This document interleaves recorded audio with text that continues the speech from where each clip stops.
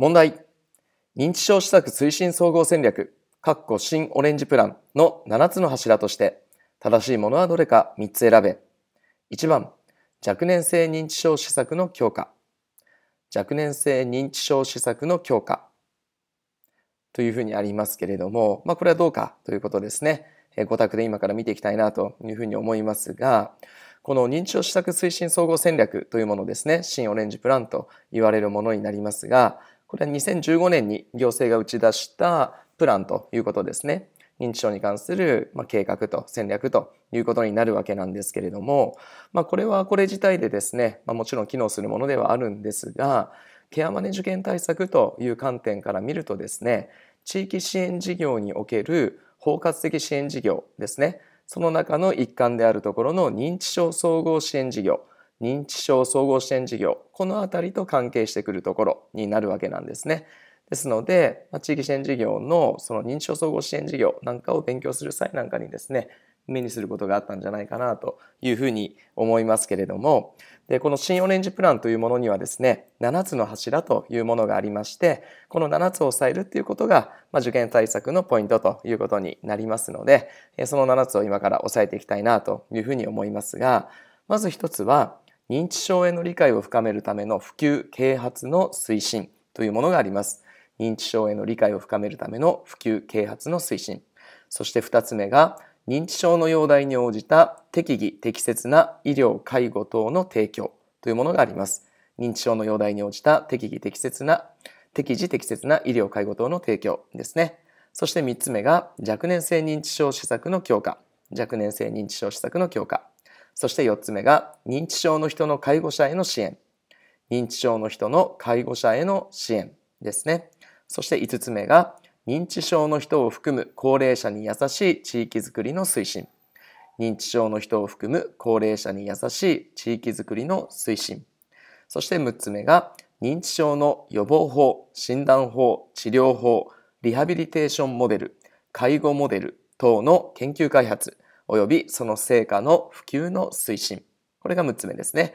もう一度繰り返します。認知症の予防法、診断法、治療法、リハビリテーションモデル、介護モデル等の研究開発及びその成果の普及の推進ですね。そして最後7つ目が認知症の人やその家族の視点の重視ですね。認知症の人やその家族の視点の重視ということで、この7つが新オレンジプランの柱ということで、まあ、明確に掲げられているわけなんですね。ですから、この7つを押さえてしまえば、この試験、この問題に関してはですね、解けるということになります。でそこで設問1の若年性認知症施策の強化ですが、これはもうズバリありましたね。3つ目の柱に掲げられているものになりますので、この設問の1はその通り丸ということになります。そして2番、認知症の人の介護者への支援。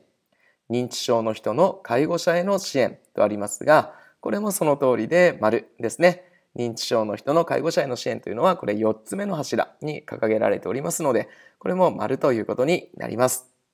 そして3番、認知症の発症割合の低減。認知症の発症割合の低減というふうにありますが、これは誤りですね。新オレンジプラン7つの柱の中に、この認知症の発症割合の低減というものはありませんでしたね。よってこれは誤りということになります。そして4番、高度認知症の人への集中的支援。高度認知症の人への集中的支援というふうにありますが、これは誤りですね。こういったものも先ほどの新オレンジプランの7つの柱の中にはありませんでしたね。まあ、ただですね、認知症の容体に応じた適時適切な医療介護等の提供というふうに、まあ、2つ目の柱に掲げられているわけですが、まあ、この辺とですね、その支援というものは関係してくるところになっているわけなんですけれども、今ですね、この国がですね、進めていこうとしているもの、集中的支援ですね、強化していきたいと思っているのは、高度認知症の人に対する集中的支援というものではなくてですね、初期なんですね、認知症初期の人ですね、認知症初期集中支援チームなんていうものもあったりしますけど、その初期対応を強化しようというふうになっておりますから、まあ、その点もですね、合わせて押さえておくといいかなというふうに思います。そして5番目。認知症の人を含む高齢者に優しい地域づくりの推進。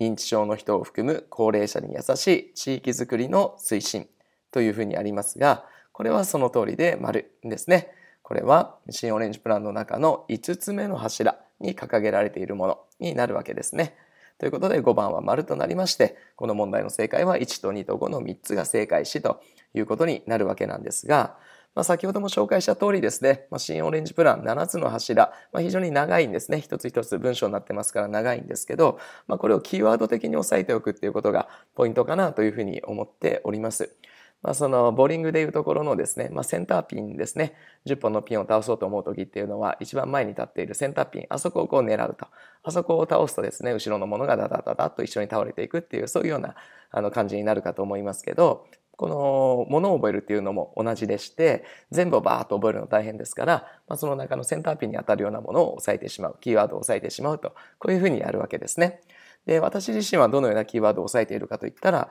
まず一つ目に関して言うと、これは、えー、正しくはですね、認知症への理解を深めるための普及啓発の推進というふうにあるわけなんですけど、この普及啓発の推進の普及啓発という言葉を私自身は押さえております。そして2番目のキーワードはですね、私は医療、介護というふうに押さえております。えー、正式には認知症の容体に応じた適時適切な医療介護等の提供というふうにあるわけですけれども、これを医療介護というふうに押さえていると。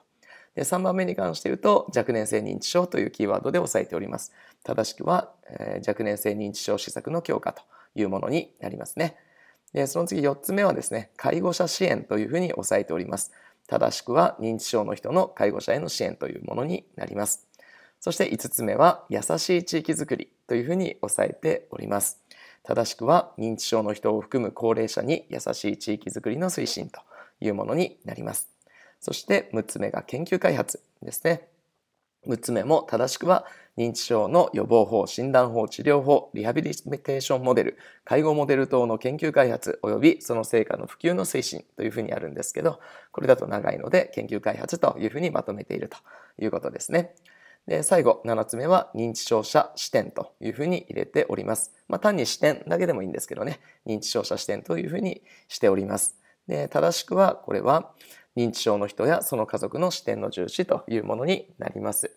で、これをですね、先ほどのキーワードにして押さえると、まあ、ボーリングでいうところのセンターピンを押さえるというところに、ま、値するのかなというふうに思うわけなんですが、非常に抑えやすいと、シンプルで抑えやすい。普及啓発、医療介護、若年性認知症、介護者支援、優しい地域づくり、研究開発、認知症者視点というふうにですね、抑えやすくなりますので、ま、これも一つ、ワンポイントアドバイスとして、えー、捉えていただけたらいいかなというふうに思います。ということで、認知症施策推進総合戦略、括弧新オレンジプランの7つの柱を問うているこの問題ですが、正解詞は1と2と5の3つですね。繰り返します。1番、若年性認知症施策の強化。そして2番、認知症の人の介護者への支援。そして5番、認知症の人を含む高齢者に優しい地域づくりの推進。この3つが正解詞となります。解説は以上です。